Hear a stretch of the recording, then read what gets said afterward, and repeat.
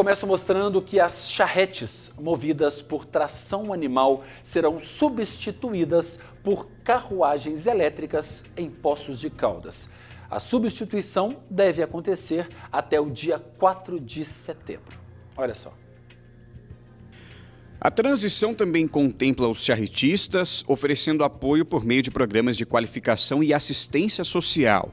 A Secretaria de Promoção Social começará a receber os charretistas a partir de quinta-feira para entender as situações e oferecer benefícios e capacitação. Para verificar qual a melhor condição dele, o que, que ele poderia se encaixar. São tantos serviços que vão ter com essa, com essa mudança do turismo que está havendo que na verdade todos vão poder se encaixar em alguma forma, né?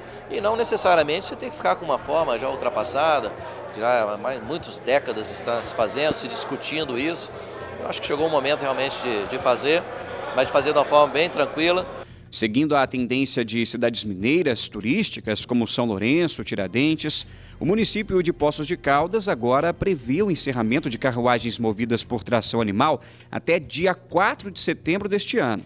O projeto de lei que acaba com o transporte atual foi enviado nesta segunda-feira pela Prefeitura para votação na Câmara de Vereadores. Eu tenho certeza que vai acontecer isso também com as carruagens. Posso vai dar um grande exemplo aí ao Brasil.